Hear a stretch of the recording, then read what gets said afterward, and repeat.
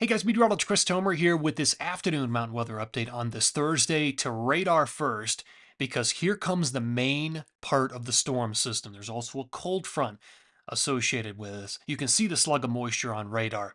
This is what will be hitting the Wasatch of Utah, the high Uintas, tonight through tomorrow morning with a significant amount of snow. And it will also force the rain snow line to drop because colder air is going to come rushing in with this area precip. There's cold front with it. So that's going to bring the rain snow line down to a lower elevation in a lot of places. I also think this will affect Montana with some additional snow. I don't have much more in my forecast for Wyoming, but then eventually this all moves into Colorado, and then it's your turn to add some significant snow, and the low will actually cut off in parts of Colorado. Let me give you a little tour. And this is exactly what I was talking about in my last few updates. Where will the rain snow line be? And I finally pinned it down this morning to about 9,000 feet. I said, if you're above 9,000, you're going to get good snow in the uh, in the Wasatch. And you can see it here at Honeycomb Canyon, you know, 9, 10, 10 and a half thousand feet. You've got snow accumulation up there. And we're in a little bit of a lull right now, waiting on this main piece of energy coming in. But you can see the base area, Moonbeam parking lot, the express lift. There's nothing. It's, it's there's no snow. It's just wet. Too low in elevation. Too warm. That's again why you have to be above 9,000 feet. Now, here's Alta. Above 9,000, you've got great snow accumulation here on Sugarloaf Peak. But again, the issue is you got to be above 9,000. Now, with that main batch of precip and snow coming in here tonight, tomorrow, we'll probably see that rain snow line drop even lower. But uh, it's still going to be the case that the best accumulation is going to be higher up. All right, here is the water vapor satellite imagery. So on this, the, the oranges and reds are your drier air aloft, is your drier air. The moisture is coming in in the whites and blues, and here's our main storm system digging into the Intermountain West. That's why uh, the main piece of this is now being delivered uh, with the cold front. Uh, again, tonight, tomorrow morning in Utah, in Montana, and then eventually the whole thing's going to move down into Colorado, where it's going to cut off over the four corners and sit for a couple of days and deliver heavy snow to southwest Colorado. So that's what's on the way.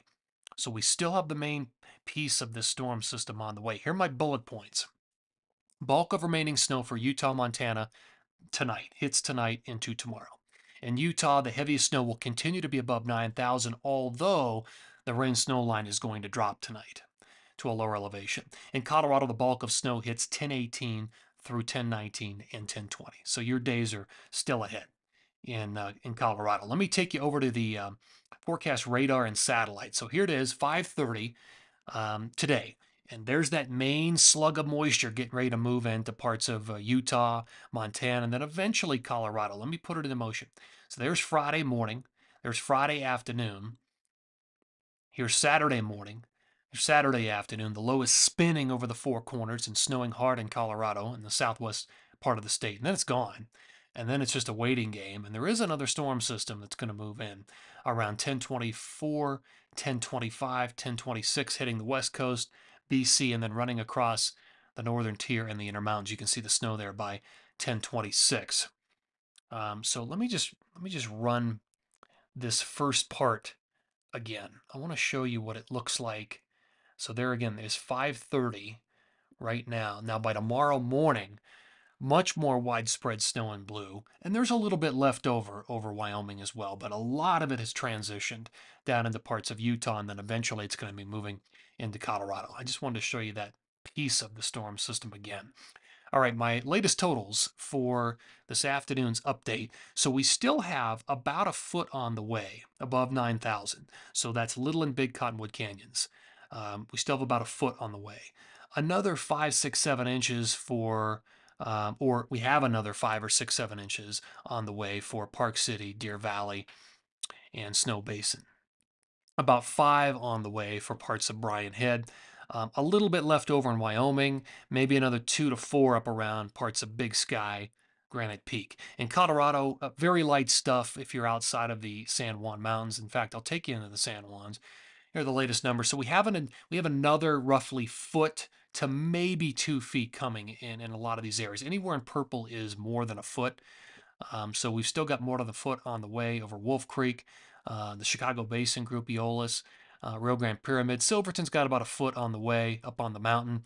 Uh, Purgatory, mid mountain and higher, about 13 on the way. Telluride, you've got another six, mid mountain and higher. And Telluride ran into the same thing that um, the Wasatch is running into. You know, you really have to be above eight or 9,000 feet to really get the best accumulation. Anything below 9,000 and, and you really, it's just, it's still a little bit too warm. So, you know, that's even the case in a lot of Colorado. You got to be above 9,000.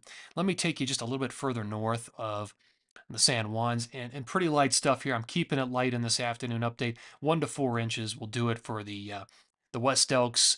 A lot of the I-70 corridor. There may be a couple of pockets of two, three, four, five inches, but um, this is this is not going to be one to write home about along the I-70 corridor. Up around Loveland, Breck, A-Basin, um, Keystone, Winter Park, one to four inches of accumulation. And temperatures are obviously going to drop. So this is going to help with the snowmaking efforts up there and just a little bit of uh, from Mother Nature as well. Guys, that's going to do it for this uh, afternoon mountain weather update. We'll end right here on the grand totals map. And again, this runs the rest of tonight through 1022. Guys, thanks for tuning in here. Appreciate it. Take care.